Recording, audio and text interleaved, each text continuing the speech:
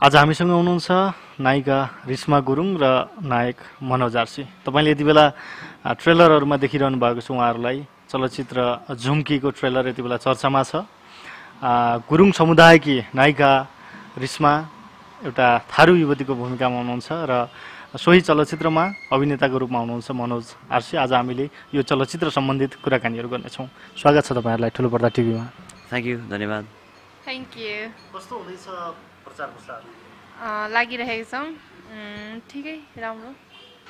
तपाईँ त तपाईँ त एउटा गुरुङ समुदायबाट हुर्किनु भयो गुरुङ नै हुनुहुन्छ। बिल्कुल फरक समुदायमा गएर आफ्नो भूमिका निभाउनु भएको छ। थारू युवतीको भूमिका। यो कसरी सम्भव रह्यो तपाईँलाई? कलाकारको लागि असम्भव भन्ने क्यारेक्टरको हिसाबमा त त्यस्तो बिल्कुलै हुँदैन। अनि गुरुङ भन्दैमा म गुरुङ समुदायमै हुर्केर बढेको होइन कि म एउटा सहरमै अब पोखरामा जन्मेर हुर्केको। धन्न चाहिँ गुरुङ भाषा चाहिँ बुझ्छु अलिअलि। त्यही हो। गाह्रो त थारू युवतीको भूमिका निर्वाह गर्दा त अफकोर्स गाह्रो त गाह्रो नै भयो किनभने लुकबाट मात्रै थारू देखेर हुन्न त्यो टोन ल्याउनु पऱ्यो उनीहरूको भाषा पनि बोल्नु पऱ्यो गाह्रो अलिअलि गाह्रो त भयो तर दाईहरू अनि उहाँ थारू समा समाजमा गइसकेपछि चाहिँ त्यहाँ घुलमिल हुँदा चाहिँ सहज भयो भनौँ। तपाईँले थुप्रै गुरुङ चलचित्रमा पनि काम गर्नुभएको छ। त्यसपछि नेपाली चलचित्र पनि ब्लकबस्टर भयो तपाईँले खेलेको कबड्डी कबड्डी कबड्डी होइन? झुम्की नै खेल्नुको कारण के? झुम्की फर्स्ट झुम्की मलाई स्क्रिप्ट आउँदाखेरि चाहिँ नाइ गर्दिनँ जस्तो कुरा भएको थियो क्या मैले। तर नाइ भन्नाले दाइले स्क्रिप्ट ल्याउनु कबड्डी कबड्डी र झुम्कीको स्क्रिप्ट मैले एकैचोटि एकै दिनमा एकैचोटि पाएको हो अनि तर दाइले अब कबड्डी कबड्डी त अफकोर्स गर्ने नै भयो। झुम्कीको हेर ए- एकचोटि स्क्रिप्ट भन्नुभयो। स्क्रिप्ट हेरेपछि त्यहाँको विषयवस्तु कथा जुन सन्देश दिएको छ स्टोरी छ त्यो हेरेर चाहिँ मैले नाइ भन्न सकिनँ। यसरी नै मैले झुम्कीलाई लिएँ भनौँ। अ, तपाईँले यस अगाडि पनि चलचित्रमा काम गरिसक्नु भएको छ। पहिला तपाईँले गरेका काम र झुम्कीमा के फरक छ? एकदम कम्प्लिटली फरक छ। हरेक क्यारेक्टरहरू पहिलाको चाहिँ अलिकति पावरफुल वेटी त्यो अलिकति अरूलाई डोमिनेट गर्न सक्ने खालको लेखेका थिए मेरा पात्रहरू पहिला। भने चाहिँ अहिले आएर ठ्याक्कै डिफ्रेन्ट अब समस्याहरू उसले हल गर्ने भन्दा पनि उसको हिरोइजमको पाटो भन्दा पनि बाहिर गएर चाहिँ एकदम आम मान्छे एउटा पुलिस जुनियर अफिसरको क्यारेक्टर भएको हुनाले। त्यसरी समस्याहरू र परिस्थितिहरूबाट झेलिँदै अगाडि बढ्दै जाने क्यारेक्टर भएको हुनाले यो चाहिँ एकदम कम्प्लिटली डिफ्रेन्ट क्यारेक्टर हो मेरो लागि र एकदम च्यालेन्जिङ पनि। ट्रेलरमा हामी देखिरहेछौँ तपाईँ रिस्माजीको पछि पछि कुद्दै हुनुहुन्छ बिचमा भिलेनको इन्ट्री होइन एउटा सानोतिनो सिनेमा ट्रेलरमै हामीले हेऱ्यौँ। खास कस्तो भूमिका हो तपाईँको? भूमिका नै त्यही हो एउटा दाङको पश्चिमको असै एउटा मिडल क्लास फ्यामिलीको मान्छे र आम मान्छे हो जसले चाहिँ अलिकति आफ्नो लापरवाही झिल्केपन को कारणले गर्दाखेरि सानो लापरवाहीले गर्दाखेरि चाहिँ फस्छ र त्यसपछि त्यो कुराहरूसँग जोडिएर अझै अझै त्यसको स्ट्रगल अब सबै स्टोरीको कुरा त भन्न मिलेन होइन? त्यहाँ समस्या पैदा हुन्छ। त्यो कारणले गर्दाखेरि एकदम इन्ट्रेस्टिङ क्यारेक्टर छ। रमाइलो लाग्छ। धेरै बोल्नै नमिल्ने क्यारेक्टरको बारेमा। हामीले प्रेम कथा देख्न सक्छौँ ट्रेलर हेर्दाखेरि होइन? तपाईँलाई पनि कता कता उहाँ मन परेको त्यस्तो खालेहरू हामीले देखेका छौँ। यो खास कस्तो प्रेम कथा छ तपाईँको नजरमा झुम्कीमा? मेरो नजरमा चाहिँ कसै यस्तो हुन्छ नि दाइ कुनै आफ्नो जीवनमा मेरो क्यारेक्टरमा चाहिँ कुनै आफ्नो जीवनमा घटेको घटनाले गर्दाखेरि त्यस्तो घटना घटनाले गर्दाखेरि आफूले मन पराउँदा मन पराउँदा पनि केही कुरा रोकेको भनौँ न। त्यस्तो टाइपको छ। अब खुल्लोस् त खुलाउन त म सक्दिनँ। अँ, डिरेक्टर दाइले कस्तो लाग्छ यो प्रेम कथा? अँ, होइन मलाई त यो एकदमै अनौठो प्रेम कथा लाग्यो किनभने एउटा ब्राह्मण क्षेत्रीय समुदायको र एउटा थारू समुदायको बिचको दुइटा फरक फरक सोचका फरक फरक काम गर्ने मान्छेहरू फरक फरक पेसाका मान्छेहरू अँ, ले फरक फरक प्रकृति प्रकृतिका भावनाले यो बिचमा पनि एउटा अलग खालको बोल्ड बोन्डिङ छ यो दुई क्यारेक्टरको बिचमा। त्यो सायद त्यो आत्माको तार फरक तरिकाले जोडिएको छ। त्यो कारणले गर्दाखेरि अनौठो अनौठो चाहिँ अनौठो लाग्छ मलाई यो अनौठै प्रेम कथा जस्तो लाग्छ। अरू नर्मल रेगुलर लभ स्टोरी जस्तो चाहिँ होइन। मजा आउने खालको छ। मजा आउने अनि त्यही माथि त्यसरी नै बगेको स्टोरी छ परिवेश भनौँ त्यहाँको घटना है त तपाईँका अघिल्लो चलचित्रमा पनि दुईजना युवक बिच हाना थाप नै हुन्छ तपाईँलाई पाउनको लागि। यसको ट्रेलरमा पनि हामीले प्रमोद अग्रवाल र उहाँको एउटा वार देख्न सक्छौँ। तपाईँको यो स्टोरी जहिले पनि त्यो आउने किन? खै अब त्यो त स्क्रिप्ट राइटर दाइलाई नै सोध्नुपर्छ। तपाईँलाई हेरेर नै उहाँहरूले यस्तो स्क्रिप्ट लेख्नुहुन्छ। के लाग्छ तपाईँलाई? होला सायद होइन त्यो त ईश्वरले मागे अनुसार दिने हो। जे पनि पात्रहरू छ। सायद संजोगवश अ, म त्यस्तो मेरो क्यारेक्टर त्यस्तो भएको होला सायद। तपाईँलाई नै हेर्न भनेर होइन तपाईँको फ्यानहरू जति पनि कुरिरहनु भएको छ झुम्कीमा झुम्कीको ओभरअल भन्दा पनि तपाईँलाई हेर्न भनेर जानुपर्ने कारण चाहिँ के छ? मलाई भनेर? मलाई भनेर भन्दा नि म त्यस्तो उहाँलाई त्यही मेरो दर्शक जुन पनि दर्शकहरू झुम्कीमा आउनुहुन्छ रिस्मा भनेर नआइदिनुहोस् कि झुम्कीको सबै क्यारेक्टर जो जो- पनि अभिनय गरेका कलाकारहरू हुन्छ सबैको मेहनत छ। रिस्मा भनेर नआइदिनु होला। झुम्कीमा के छ? त्यो चाहिँ हेर्न बुझ्नलाई आइदिनु होला भन्छु म।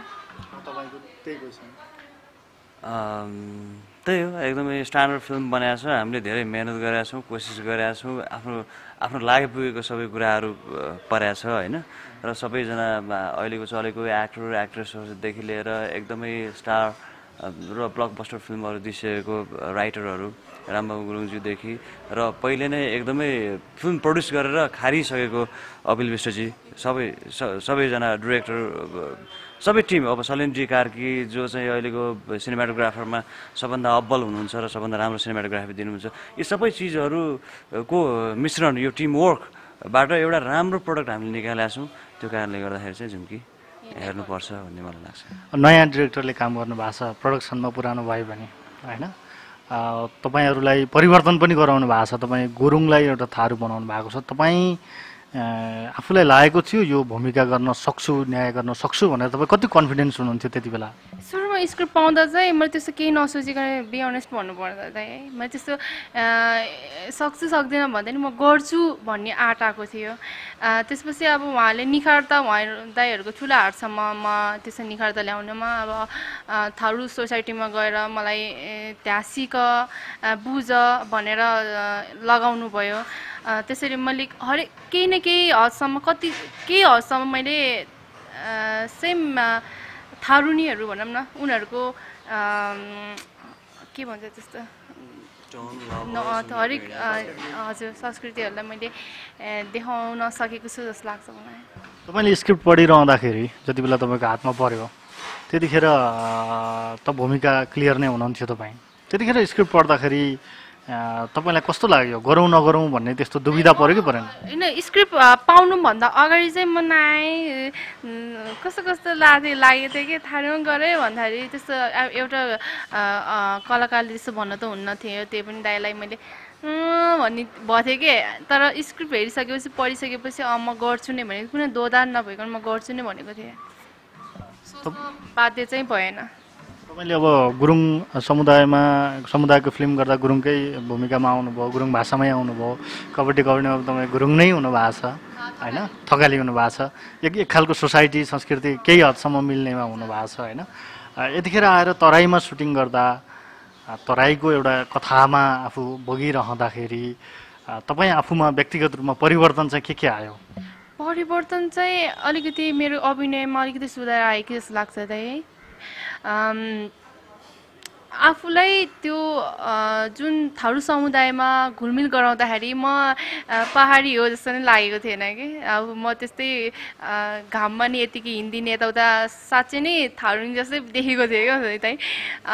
त्यस्तो गाह्रो त्यस्तो जस्तो लागेन मलाई। त्यतिखेर त्यो सोसाइटीमा जहाँ तपाईँ सुटिङ गर्नुभयो दाङचेक छौ होइन त्यहाँ सुटिङ गर्दाखेरि त्यहाँको स्थानीयले तपाईँलाई के भन्नुहुन्थ्यो? कसो कुन नजरमा हेर्नुहुन्थ्यो? तपाईँ कुन त्यो उहाँले मलाई चिने कसले पनि चिनेको थिएन त्यो कबड्डी प्रायः एउटा दुइटा त्यो कुनै कुनै युवा युवतीहरूले मात्रै हेर्थ्यो।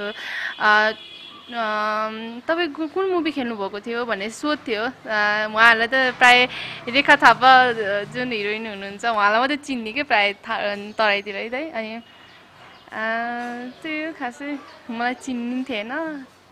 तपाईँ त्यसरी परिवर्तन हुँदाखेरि पछि गुरुङ भनेर थाहा पाउँदाखेरि एउटा थारू भएर खेलेको छ भन्ने थाहा पाउँदाखेरि चाहिँ कस्तो रियाक्सन हुन्छ? त्यस्तो त होइन। तिमी तपाईँ कुन कास्टको हो? यताउता केही पनि भन्नु भएन। डाइरेक्ट हामी त पाहाड पाहाड उहाँहरूले पाहाडी भनेर छुट्याउने रहेछ। पाहाडी तराई पाहाडबाट आएको भनेर त्यस्तो खासै रियाक्सन त्यस्तो त मैले केही पनि पाएन। सुटिङ भइरहेको बेला चाहिँ मैले के देखाएको थिएँ भने उसको सर्ट लिइरहेको थियो है यताबाट अरू पब्लिकहरूले हेरिरहेको बेलामा।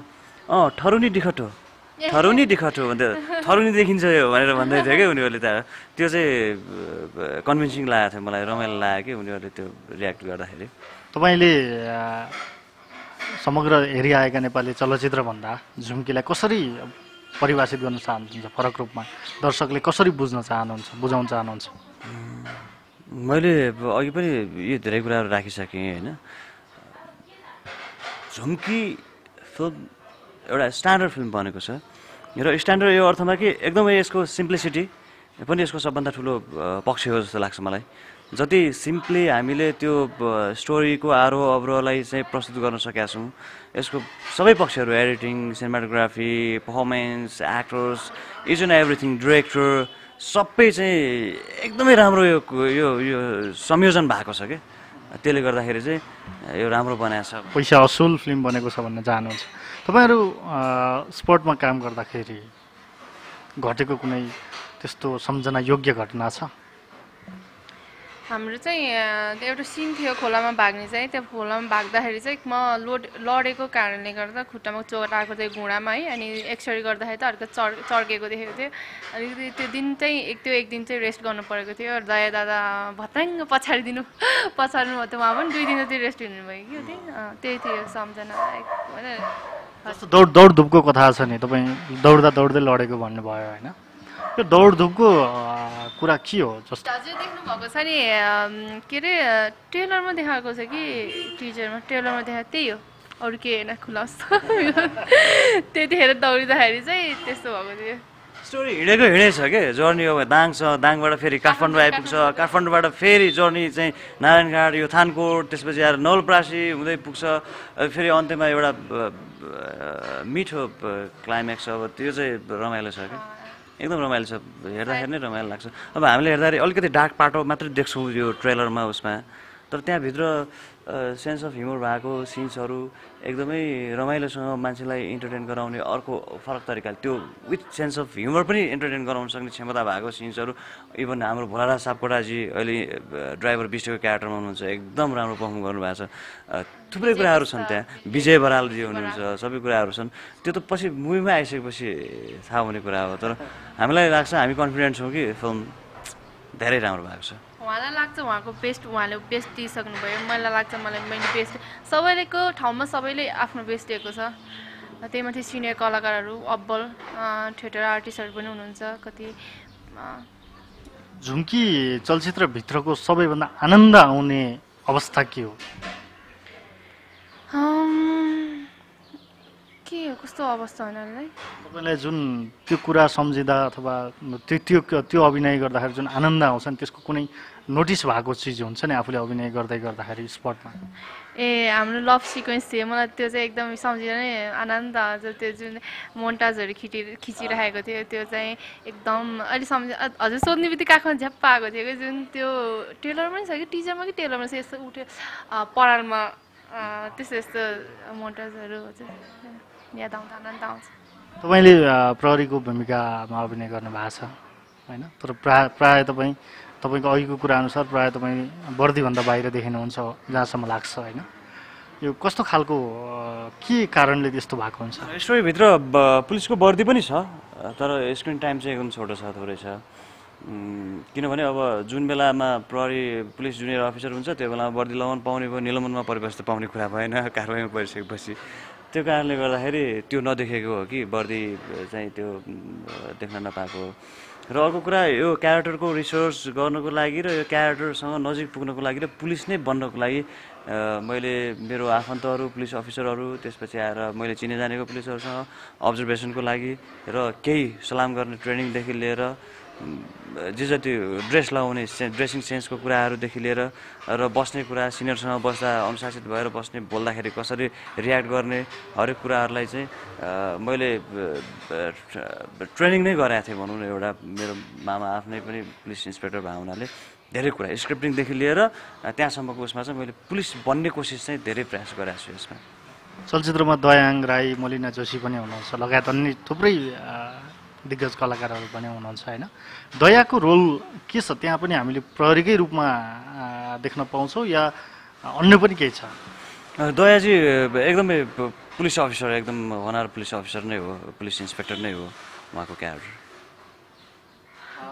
यो चलचित्रलाई हामीले एउटा प्रेम कथा त थाहा पाइसक्यौँ होइन? यसलाई एउटा बदलावको कथा बदलाको कथाको रूपमा लिन सक्छौँ? अफकोर्स त्यही हो। अब भन्न लाग्यो भने चिप्लिँदै चिप्लिँदै मेरो मुखबाट सबै निस्किन्छ हेर्नु दाइ। त्यो कारणले हजुरको जस्तो मूल भाव चाहिँ त्यही हो। हजुर। प्रेम कथा र एउटा बदलाको कथा छ। मूल कथा यो पनि होइन कि त्यहाँ रिभेन्ज भन्यो भने रिभेन्ज मात्र छ रिभेन्जको लागि सबै कुरा भइरहेछ। त्यहाँ अलिकति रिभेन्ज अलिकति सस्पेन्स अलिकति चाहिँ रोमान्स अनि अलिकति हुन हाम्रो लाइफमा हुने कुराहरू नेचुरली जे जे हुन्छ नि त्यो चिजहरू सर आएको छ क्या अब कुनै पनि चिज हामीले यही नै पर्टिकुलर यस्तो भनेर चाहिँ भन्ने अवस्था चाहिँ छैन। भनेपछि हामीले हाम्रो हाम्रो वास्तविक जीवनका केही न केही घटनाहरू हामी त्यहाँ मिल्छन्। ए अफकोर्स पाउँछौँ। आजभोलि दर्शकहरूले पनि त्यो हुन्छ नि ओभर हुने नहुएको नाटकीय टाइपको हेर्न रुचा रुचाउन छोडिसक्नु भएको छ नि। हामीले पनि त्यस्तो त्यही किसिमले बुझेर नै अब जीवनमा भइरहेको घटनाहरूलाई कसरी वास्तविक रूपमा कसरी प्रेजेन्ट गर्न सकिन्छ त्यस्तो टाइपले नै हामीले गर्न कोसिस गरेका छौँ सबै। के भन्नुहुन्छ झुम्की हेर्नको लागि प्रतीक्षारत दर्शकको लागि? झुम्की हेर्नै पर्छ मुभी।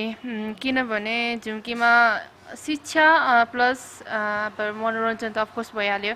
अनि अघि पनि भन्नुभयो रिस्मालाई हेर्न किन आउनु पऱ्यो अथवा त्यस्तो भन्नुभएको थियो नि। मलाई मात्र होइन कि हामी सबै आर्टिस्टहरूले यति राम्रो मेहनत गरेको छ। त्यसलाई के भन्छ सम्मान गर्नको लागि भए पनि आइदिनु होला भन्ने म अनुरोध गर्न चाहन्छु सब सब सम्पूर्ण दर्शकबिनहरूलाई झुम्की मौलिक कथा हो हामी बिचकै कथा हो हामी जस्तै पात्रहरू छन् हामी जे छौँ जस्तो छौँ। हामी जमिनभन्दा माथि उठेर उडेर गर्ने कामहरू त्यहाँ भएका छैनन्। जमिनिया पात्रहरू छौँ जमिनका पात्रहरू हामी। त्यो कारणले गर्दाखेरि आफूलाई हेर्नलाई आफ्नो समाज परिवेश परिस्थिति आफ्नो कालखण्ड सबै चिज बुझ्न र हेर्न र आनन्दित लिनको लागि सँगसँगै एकदम एन्टरटेन गरेर रमाइलो गर्नको लागि चाहिँ झुम्की हेर्नुपर्छ र झुम्की हेर्न आइदिनुहोस् भन्ने मेरो आग्रह छ। व्यस्तताका बावजुद पनि हामीसँग आउनुभयो। हामीलाई समय दिनुभयो। हामी निकै आभारी छौँ मनोजी। थ्याङ्क यू धेरै धेरै धन्यवाद तपाईँलाई पनि। हामी तपाईँप्रति पनि आभारी छौँ। पोखरादेखि काठमाडौँ आएर हामीलाई समय दियो। हामी तपाईँ पनि प्रति पनि आभारी छौँ। ठुलो पर्दाको टिभीलाई हजुरहरूलाई धेरै धेरै धन्यवाद। हामीलाई यसरी इन्टरभ्यू दिने हाम्रो फिल्मको बारेमा केही प्रचार प्रसार गर्ने एउटा मौका दिनुभयो। त्यसको लागि धेरै धेरै हृदय धेरै धन्यवाद।